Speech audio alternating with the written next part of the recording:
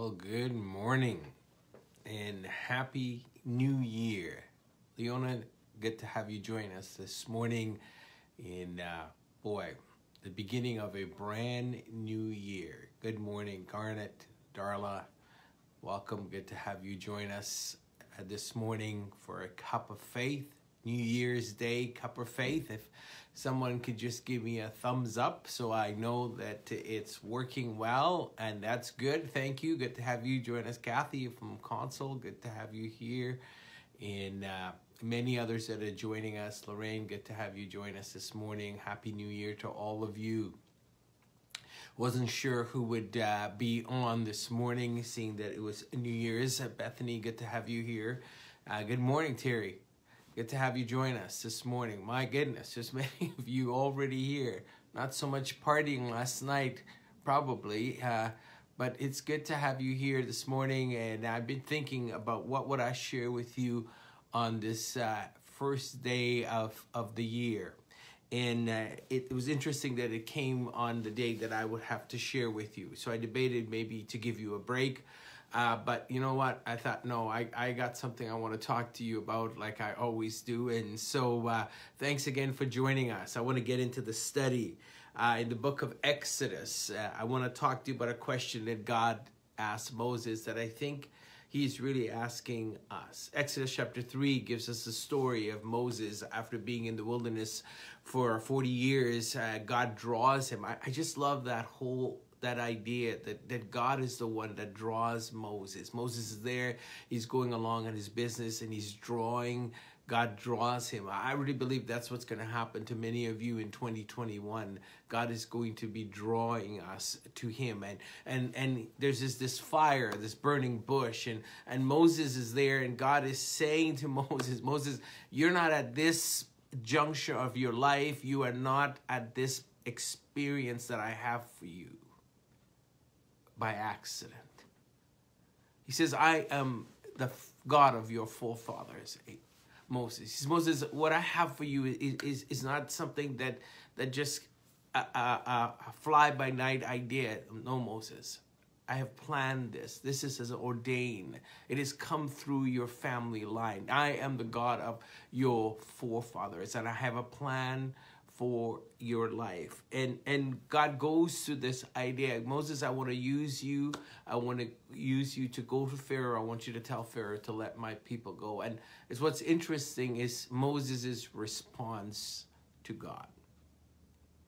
Moses said, verse 1, chapter 4. Moses answered, What if they do not believe me or listen to me and say, The Lord did not appear to you? So Moses says, if that's all good, you want to use me, you want me to go to those people, you want me to talk to them. Says, but what if people don't believe? I think part of this whole issue here is not just what people think, but also what Moses thinks. This is not just about what other people's unbelief is about. This is about Moses' own unbelief.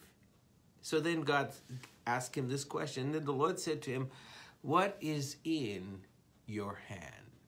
Boy, that's a great question for us to contemplate on the very first day of a brand new year, 2021, especially coming through what we are even within right now, dealing with this pandemic. What is in your hands? Moses said his staff. Now, let me just say that a staff was a tool that a shepherd would use. This was no ordinary piece of stick that Moses just picked up as he was wandering. This was his, his staff. There were identification marks that distinguishes his staff from another uh, shepherd's staff. It was a tool that he used in the job that he had. And, and so for all of us, uh, uh, God has given us gifts and talents and resources, uh, things that are very much unique to us. And so God says to us, what's in your hand? And most times, what are we looking at? We're looking at what is in someone else's hands each one of us, God has given us special giftings, special abilities. And God says, Moses, what's in your hand? He says, the staff. He replied, then the Lord says to throw it on the ground. Moses threw it on the ground, and it became a snake, and he ran from it. Then the Lord said to him, Reach out your hand and take it by the tail. So Moses reached out, took hold of the snake, and it turned back into the staff in his hands. That's a very powerful part of this story. See, everything that God gives in your hand, He's not going to take it from you. You have to lay it down. Moses, he says, Moses, I want you to put that rod, that very thing that you think is ordinary, but it is everything about you that I have put in your hand. I want you to lay it down. And and and sometimes that's one of the hardest things for us to do. See, before God can do anything with what's in our hands, what He has already given to us, we need to give it back to Him. And initially, when we do anything for God and we begin that process, sometimes God gives us a glimpse of how much he could change what seems to be ordinary to become extraordinary. And Moses' first reaction is to run, to run from what God has for him. I wonder how many of you in this 2021 are running from what God has for you in your life. I don't think that any of you this morning are here by chance. I believe God wants you to. And He's asking you, what's in your hand? I want you to lay it down in 2021 because I have a greater purpose for what it is, what seems to be ordinary, what seems to be your everyday things. He says, I have a greater purpose from, for it. Let's continue reading. This, said the Lord, is that this, so that they may believe the Lord, the God of your fathers, the God of Abraham, the God of Isaac, and the God of Jacob, has appeared to you. So, God says Moses, I'm going to use you and the people that, and the people that you're going to help, the people that you're going to serve, this is going to be where they believe that you, I have something greater for you in your life. And so then the Lord said, Put your hand into your cloak. And so he gives him another sign. And the sign is this that you need to put, put your hand in your cloak. And his hand turned leprous. And then he took it back out again. And now you, you think now Moses would be enthralled by all of these things that God is doing, these ordinary things that he has. God is going to do extraordinary things with him. But listen to what Moses responds, verse 10. Moses said to the Lord, Pardon your servant, Lord. I have never been eloquent, neither in the past nor since you have spoken to your servant. I am slow of speech and tongue. I wonder what, what is your excuse? What will be your excuse in 2021 for God?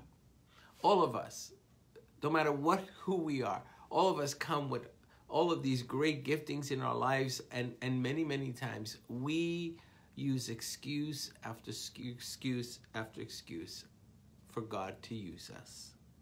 But what I love about this passage is God does not give up on Moses. Then the Lord said to him, Who gave human beings their mouths?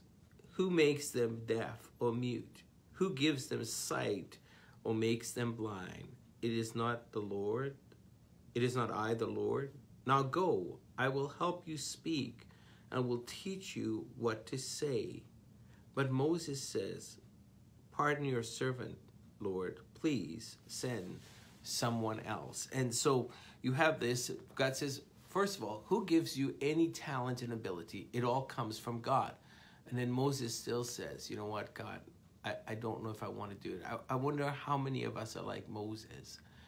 I, I am bringing you this because I, I want you to say like what I'm going to say every day this year, Lord. Whatever you have for me, whatever you've put in my hand, I am going to bring glory to your name. You know that staff Moses, it it stayed with Moses right through the book of Exodus. You read more and more about that staff. In fact, uh, Moses he he he complains and, and, God gets angry with him, and then his his brother Aaron comes and uh, God says, "Okay, I'm gonna use both of you," and God doesn't give up with with Moses. And then it says at verse 17, God's the last thing he says, he says, But take this staff in your hand so that you could perform the signs with it. God says, I, I, I know you have hesitations. I'm going to be patient with you. And I, I'm going to bring somebody else alongside you. But what's really interesting as you read through the narrative in Exodus, Aaron really never has to speak for Moses. When Moses steps forward and he holds the staff, and, and, and that staff, you know, he, he goes before Pharaoh and lays down that staff, and, and, and, and his staff, uh, uh, Moses instructs Aaron to lay down the staff, and, and Aaron lays it down, and, and their staff turns into a serpent that devours the, the serpents uh, of, of, uh, of Pharaoh's uh, um, the people, the spokespeople for Pharaoh. And, and so this very staff God uses uh, to Moses, Aaron dips it into the Nile and it and it turns to blood. And and and most commentators said it was a staff that Moses lifted up before the Red Sea and part of the Red Sea. And and it, and and it was a staff that that Moses used in the wilderness to strike the rock, and that it it brought forth water uh, for the people. And, and it was that staff that Moses used to hold up with the help of, of, of, of his friends holding up his arms that defeated the Amalekites. I'm here to tell you what's in your hand is more powerful than you realize. And it might seem ordinary. For some of you, what's in your hand is the ability to help someone by baking or by preparing a meal or it, might be to to write something that that's so powerful that it influences other people on social media or it whatever it is. Would you say with me this morning lord whatever it is in my hand i lay it down to you in 2021 i pick it up in great anticipation of what you have for me in this year.